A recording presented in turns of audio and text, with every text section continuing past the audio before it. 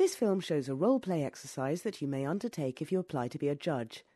This particular role play was used as part of the assessment of candidates for the post of recorder sitting in the family jurisdiction. Before watching the film, it's important that you read the accompanying written explanatory notes. Please stand. Hmm. Janning versus Janning and re a minor. Thank you. Please be seated. Good morning. Good morning. I'm Anita White. May I ask the people present to, to introduce themselves, please? Yes, Your Honour, good morning. Uh, my name's Talbot. I represent Mrs. Janning in her application. Thank you. Uh, my name is Edward Janning, and uh, sh- should I uh, stand up or sit down when I talk to you? Uh, no, that's all right. You can remain seated if you wish. And uh, um, what, what do I call you? Your Honour. Uh, yeah, all right, Your Honour. Thank you. Hi, my name's Esther and I'm Edward's friend. Thank you. Good morning, Your Honour. My name's Robert Carson and I'm the CAFCASS officer. Thank you very much. Now, to begin with, I would like to ask Mr. Janning. I noticed that your application was issued through a solicitor. Yeah, that's right. May I ask why you're not being represented now? Well, I can't afford it, can I? You know, they're, they're taking me money just for just for writing a letter. I, I'm sorry, my pockets are not that deep, love. Okay. Anyway, I belong to a, a group called Fathers Against Discrimination. Yeah, Mm-hmm. and I know everything I need to know to do in court. They told me everything. Yeah. Well, that's well and good, Mr. Janning, but I would advise you to reconsider whether it would be wise to seek legal representation because the allegations that have been made against you are extremely serious. Yeah, I know they're serious stuff. That's why I'm here. Right. I'm just Yes. saying I can't afford to pay any more lawyers' fees, and I know what I'm doing because I'm a member of Fathers Against Discrimination. right. You know, but I've told you I know what I'm doing, and uh, I can't afford it. So let's just press on, shall we? All right, okay. Um, can I ask you, Mr. Janning, what um, Esther is doing in court? Uh, Your Honour, I uh, would like to raise an objection to uh, Miss Summers' presence. Um, it's contrary to well established principles with which I suggest you're no doubt familiar, confirmed by the Court of Appeal on numerous occasions. Um, for someone in Miss Summers, um, how shall I say, Miss Summers' position, to be permitted to remain during discussion of confidential matters uh, relating to the family in general and the children in particular. And I would further add that uh, the very same point arose uh, before, a, before a senior circuit court judge last week, Your Honour, and uh, it seemed to be on any, beyond any serious reasonable debate. Your Honour, can I Yes, just say, yeah? yes. Esther Please respond to that. is a good friend of mine, all right? Mm. Now, I'm not legally represented, yes, whilst Caroline is. So, Esther is here to provide me with moral support Yes. and to take notes. That is only fair, Your Honour. Okay? So, I, I, and I know about McKenzie friends as well. Yeah? So she should be here in either a capacity to, to, to, to be my McKenzie friend or to give me support or to take notes or, or, or give evidence. Thank you, Mr. Janning. Thank you. Your Honour, is it okay for me to speak? Please speak. Um. I'd just like to say I used to work in a solicitor's office in the family law department, so I do um, appreciate the rules and I know this hearing is confidential. yeah. And I'm really here more to support um, Edward morally and because it, it's a stressful time Yeah, for him. yeah. And I just want to be able to take some notes while That's talking. all right. She knows Thank what you. she's doing. I Thank wouldn't you. have brought any, any person here. She knows what she's doing. Okay, Mr. Janning, I just want to reiterate and explain to you properly that a McKenzie friend may give you advice on the law and may support you, but they may not speak or address the court in any way, and they may not give evidence. Is that clear? Yeah, yeah. All right, thank you. In that case, um, Ms. Summers, you can remain and act as Mr. Janning's uh, McKenzie friend. Thank Your you. Honour, Your Honour, uh, um, I would at least uh, appreciate being given the opportunity to at least uh, have my uh, objections heard to this. Go ahead, Mr. Talbot. Um, uh, I would argue, Your Honour, it's quite obvious to um, those familiar with the authorities, Your Honour, that uh, Ms. Summers should not remain. Uh, Mr. Janning is of uh, sufficient intelligence uh, to be able to conduct the case without Miss Summers' help, and after all, he is unrepresented by choice, Your Honour. Right. What is Thank it a you for choice that. that. I'm skint? Excuse- is it a Mr. choice that my wife's trying to take me to Mr. the Jennings, cleaners? please. Mr. Jennings, please. Thank you, Mr. Talbot. You must sit down.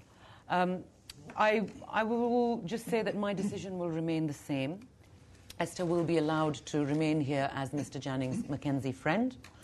I have regard to the President's guidance of 14th of October 2008, from which it is clear that there is a presumption in allowing the assistance of a McKenzie friend. And I would say that you, Mr. Talbot, have failed to establish a basis to rebut that presumption in favour of allowing Esther to attend. Uh, Mr. Talbot, could I ask you, please, why Mrs. Jennings is absent from this hearing? Well, Your Honour, she's absent this morning. Well, she's not absent from the hearing, is she? Because we saw her outside the front on the steps having a fag. So can you Right. tell me, Your Ladyship, why she's not in here in this hearing now? That's what I want to know. Right. Can you elucidate, Be please, allowed Mr. to Talbot? Thank you. Your Honour. Thank you. Um, m- my client is afraid of Mr. Janning, Right. and she really does not wish to be anywhere near him at all. Oh, and poppycock. she has told me already that she will not attend today because of this particular situation. I see. Afraid? Well, can I tell you something, Your Ladyship? It's a pile of rubbish. She's making up these allegations to undermine my application. Well, I want to say something. She's not here today, so her application should be dismissed. And I'm here today, so you should grant my application so I can see my, my kids. And furthermore, uh, y- Your Honour, she is a lying bitch. I wouldn't trust that Mr. woman. Janning. Uh, hon- she wouldn't know Mr. the truth Janning. if it hit her in the face. Mr. Janning, please. Mr. Janning, I recognise that this is a very emotional time for you. Of course it's emotional. I However, haven't seen me however, I would really appreciate it if you could calm down and if you could watch your language. I, I'm sorry, love. I'm sorry. Thank it's you. just that I want to you may refer to my... me. Please let me finish, Mr. Janning. You may refer to me as Your Honour. I'm sorry, Your Honour. I just want to see my children. Yes, I understand I, that. I can't see why that order can't be granted today. I mean, for God's sake, they want to see me. Why can't their Okay, rights be respected? I understand what you're saying, and I'm going to try and sort this matter out as best I can. Thank you.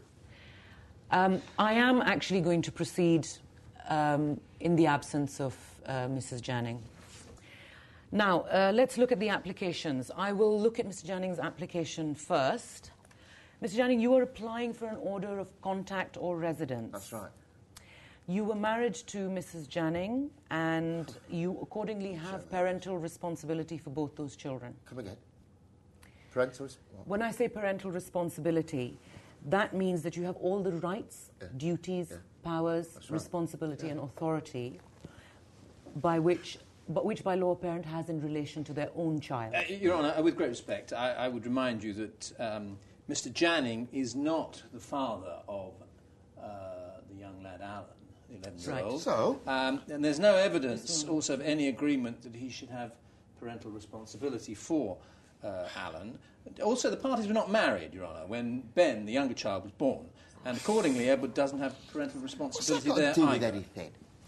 Um, I'm grateful to you for pointing that out to me, Mr. Talbot. I had Obliged, failed to Your Honour. notice that position. Um, now, I can see here that injunction was granted last September. It's still in force. And that Mrs. Janning alleges that Mr. Janning has breached the order by attending the marital home, where it's alleged that he was abusive and violent, and she seeks an order that he should be sent to prison for that breach.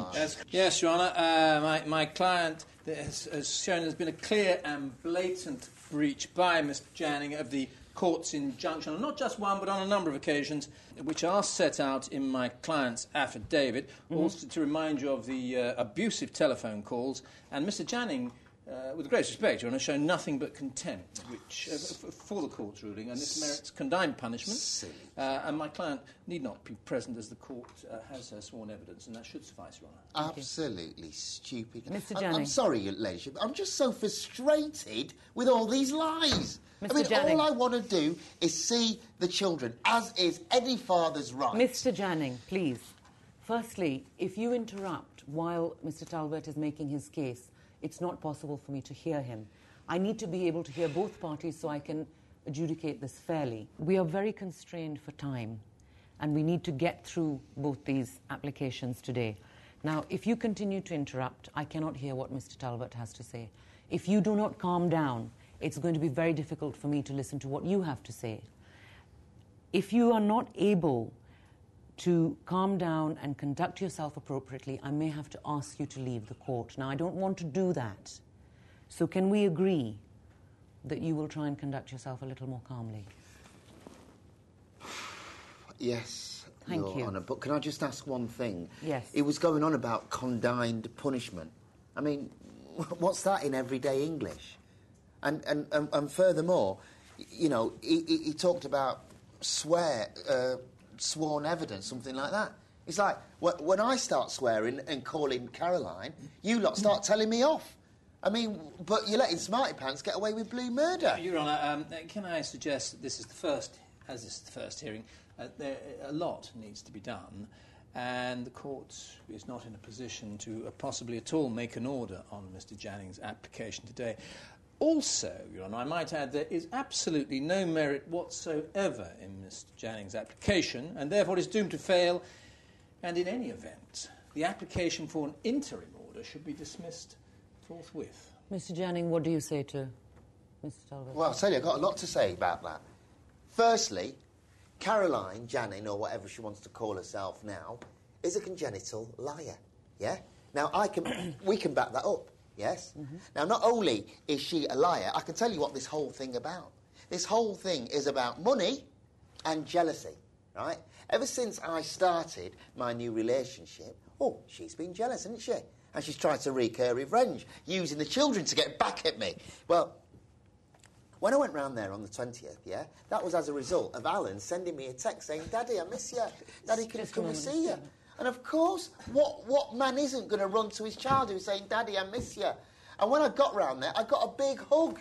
Yeah, big hug and a kiss from both of them. If I'm so violent, Your Honour, why was I sent the text? If I'm so violent, Your Honour, why was I given a hug? I am not a violent person. There was no violence that night. Any violence came from that drunkard. Thank you. Thank you, Mr. Janning. Mr. Talbot, please make your point.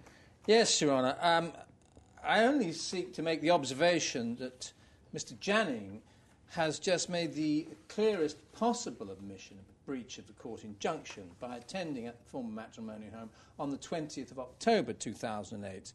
And I would ask that Your Honour proceeds immediately with my client's application. Um, sorry, um, Your Honour. Um, I think I might have to go back and get um, m- my solicitor, um, well, certainly his advice regarding Caroline's application. But I will say this I don't, I don't want to leave court without getting an order for contact for, for my kids. All right. Thank you. Thank you. I think at this point it would be useful to ask the CAFCASS officer, Mr. Carson, for his comments. Thank you, Your Honour. I would assume, Your Honour, that the court might require a Section 7 report. Yes. But it is taking some 20 weeks in Bolchester to get such a report. I see. What's, what's he on about, Section 7? Uh, Mr. Jannings, a Section 7 report is in respect of matters relating to the children's welfare, so that the CAFCASS officer, in this case Mr. Carson, would be the eyes and the ears of the court and would assist the court in making its decisions. Is that clear? Your Thank Honour, you. Uh, please may I add that um, I am unable to ascertain whether there is a screening report at this stage. Right. Mr. Carson, do you have any advice uh, regarding this interim contact? Uh, yes, Your Honour. I will make inquiries as soon as possible Mm-hmm. uh, of local contact centres to ascertain uh, whether uh, they'll be able to assist with facilitating any contact uh, made by the court. Um, I will also see the children to get their views. Um, I'm unable to say how long this will take, but uh, I will do it as soon as, as, soon as possible. Your Thank Honour, uh, may I uh, uh, suggest there's no good reason why you are unable to deal with my client's application. Uh, Mr. Janning uh, did not contest the injunction application in September, and he has admitted here in court today that he has been to the matrimonial home, as we've heard, in breach of the injunction. Um, and uh, may I further add, Your Honour, that I've just received a text message from my client. She's in the court waiting room, but she's apprehensive about coming into the court for the reasons laid out beforehand. In, in fact, she's afraid to be in Mr. Janning's presence. Um, might I, might I, are, are, we able to avail ourselves of special measures in this? Well, c- can, can I just say a couple of things? Firstly, what he said, absolute rubbish. All this, she's frightened, rubbish. And secondly, special measures. I haven't heard of it. C- can you tell me what that is, please? And thirdly, he just used his mobile phone then. I was told, I'm sorry, Your Honour, can I, I'd like to have my little say. I was told before I came into court, oh, can you switch that off? Yet, Mr. Smarty Pants here is there texting away. How come he's allowed it? Right, Or is Mr. it one Janning. rule for the lawyers and another rule for Mr. fathers fighting Janning, for justice? Please calm down. Please do not interrupt. Take hold of yourself, please. Sit down.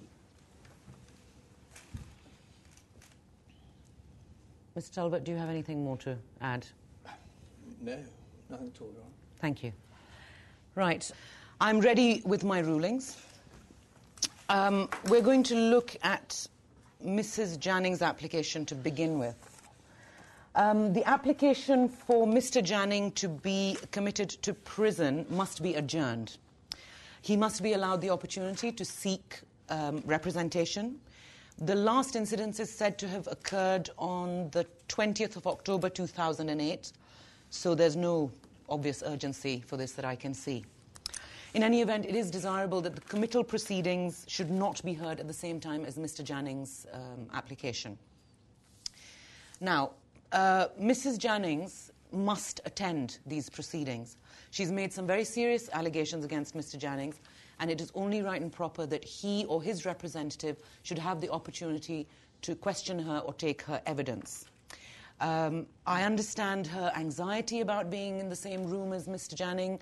However, any application for special measures must be made in advance and should not be left to the last minute as it has been done today.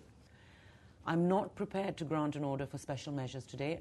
I would require you, Mr. Talbot, to issue an application. But, Your Honour, with the, with the utmost respect, I would ask you to reconsider that. Uh, but quite simply on the, on the basis that costs in themselves will be saved if the order is made now, rather than requiring a formal sake. application to be issued for consideration prior to or at the She next just said she's not going to do it. Mr. Janning. Um, all right. Well, you make a good point, Mr. Talbot. Um, I can and I should make a special measures order today. All right. Your Honour, obliged. Now, Mr. Janning, um, you will file and serve an affidavit in reply within 21 days. Mr. Talbot should then file and serve within 14 days thereafter a schedule of allegations and responses. At the same time, Mr. Talbot, you should file and serve a report from the police regarding their um, alleged attendance on the 20th of October 2008 and 8 at the matrimonial home, and indeed any other attendances by the police at that address. Uh, you must prepare and lodge a bundle and provide a um, copy to Mr. Janning if he remains unrepresented, and include a case summary by 12 o'clock noon, two working days before the hearing and the application, which will now be heard on the 9th of February 2009. I estimate it will last one day. Yes, Your Honour. Thank you, Your Honour. Um, I would also like to apply, Your Honour, for a power of arrest to be attached to the injunction granted in September. Uh, the court at the time admitted to deal with this as an oversight, as I understand, and I would ask that that's now remedied and the uh, power of arrest be attached to the occupation order and the non-molestation order, and also that it should continue for 12 months as of today. Uh, sorry, love, can you just explain what he just said in plain English? What I'm being asked, Mr. Janning, is I'm being asked to direct that you may be arrested by the police if, if you breach the injunction against you. Right. You would then be brought to court and you would be kept in custody and you would remain in custody for as long as the court thought fit until the time of the hearing uh, of that breach allegation. Is that clear? Now, Mr. Talbot, I must say that you have overlooked a change in the law in 2007. Excuse me, A power of arrest may no longer be attached to a no molestation order. It can be attached to the occupation order, but the power of arrest cannot continue beyond the expiry of the injunction. Uh, sorry to uh, uh, show my ignorance yet again, but can you just explain to me in plain English what I have to do regarding this application to send me to prison?